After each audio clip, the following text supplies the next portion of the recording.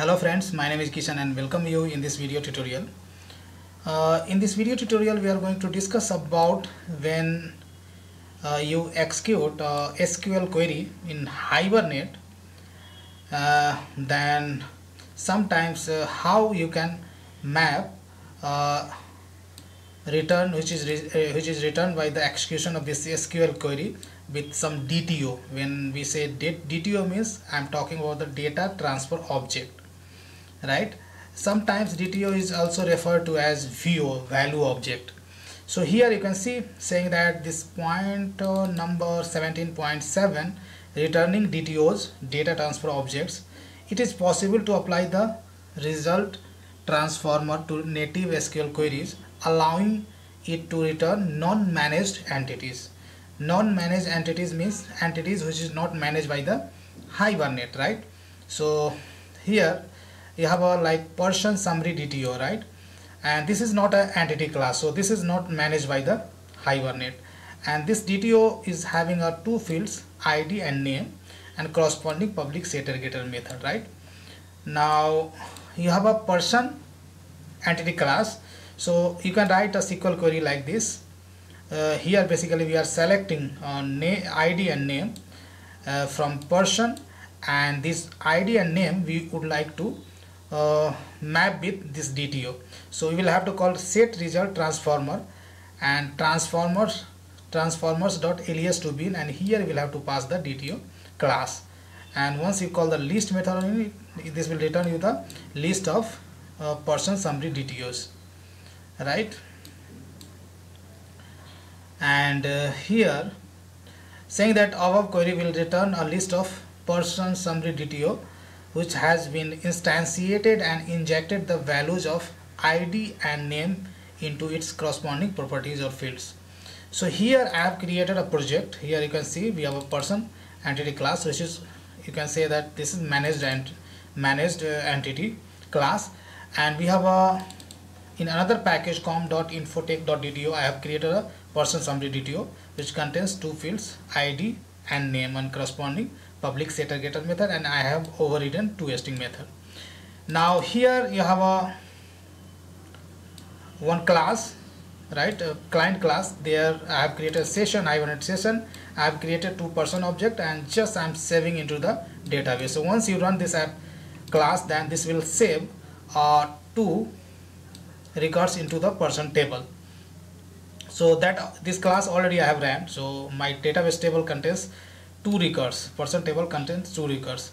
Now hibernate native sql query client test i have written this uh, sql query.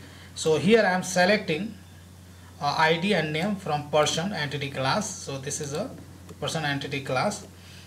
And now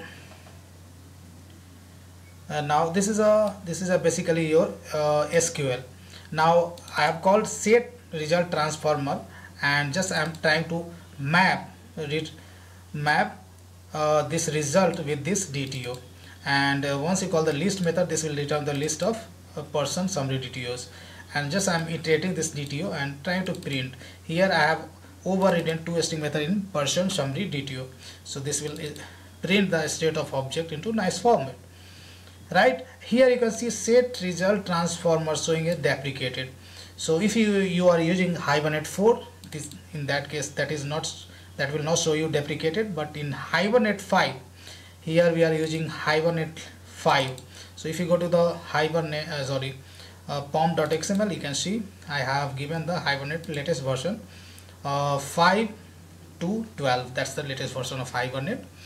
So hibernate 5 uh, set result transformer is almost deprecated. So it's not uh, it's, it's only deprecated. So that will show you only warning right still you can use in hibernate uh, uh, 5 so deprecated means uh, I mean this API is showing that uh, strike out right? Saying that this is deprecated. So uh, that is basically trying to say don't use this API which, because this is already deprecated from Hibernate 5 there is possibility in next version they may remove it. So use alternative one. But if you go to the Hibernate documentation they haven't suggested any uh, equivalent uh, alternative choice. So still if you'd like to use this then uh, this will show you the warning but still you can go forward. So if I run this application then currently there are two records in our person table and ID and name is getting fetched and here you can see ID and name you are printing over here and you can see the SQL query that is basically selecting ID and name. So that's all I wanted to talk I wanted to cover in this video tutorial so I hope you enjoyed learning this video. Uh, so here if you have uh, any kind of SQL query you can create a corresponding DTOs and you can map easily like this. So here uh, when you write any DTO then make sure that what variable name you are specifying over here that should match with your variable name what you declare over here. So these things should be same. Then only Hibernate will be able to map your uh, results with the DTOs right? So these things will have to keep in mind.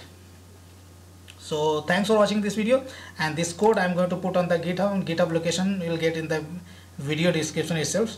So see you next video tutorial